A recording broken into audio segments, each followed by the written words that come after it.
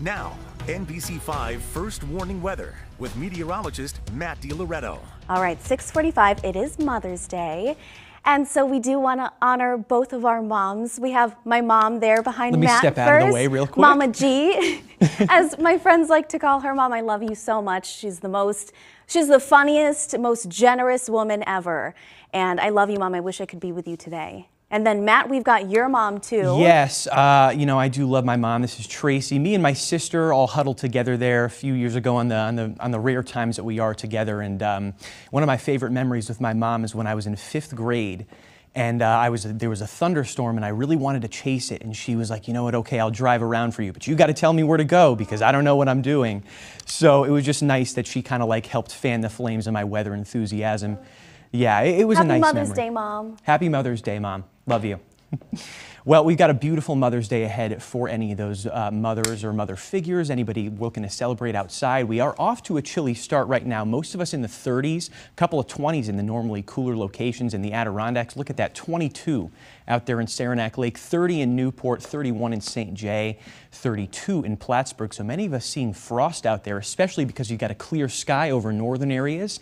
Now, farther to the south, we've got this line of high clouds and that was still with us last night, ever so slowly pushing off to the east, and it'll continue to do so today. You can see the line of the clouds runs from about Montpelier down to Brandon and Rutland, so slowly, ever so slowly pushing east as the high pressure to our north becomes better established. Northeasterly flow bringing in much drier air, so the storm system you see off to the south, that's going to kind of meander off the coast and make a little loop to the south, but luckily it'll be just far enough away from us that we really won't be feeling any impacts from this system any longer. Even the clouds clearing out of here. So we got a beautiful Mother's Day ahead.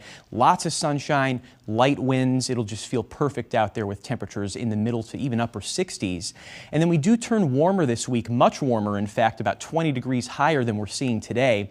But it'll also turn more humid toward the end of the week, so you'll really notice uh, it'll feel like summer and then no rain for at least another week. So really going to have problems with uh, pollen and lots of allergies in this coming week. So here's Futurecast. Let's play it out for you. We got the clouds. They're just thin high clouds, so you just see a couple of them down in southern Vermont lasting through the rest of today. Northern areas, I think we should see total sunshine as we head through the rest of the day. And then total sunshine continuing even into Monday all day. Look at this. Just a couple of clouds possible coming down from the north Monday night into Tuesday, but Tuesday once again, tons of sunshine for us and temperatures slowly warming through the 70s during this time period. So as far as rainfall goes, not looking like much. We're going through Sunday here, Sunday, May 15th. Big gap over New England, no rain whatsoever, so that's going to cause problems. Could have some issues with brush fires later this week. Certainly the allergies will definitely be keeping an eye on it for you. Now, the pollen forecast is certainly not pretty over the next few days. High every day until Wednesday, and I think that it will be even very high as we end the week as temperatures get even warmer and we continue to see no rain until next weekend. So this afternoon, really gorgeous day for those moms out there.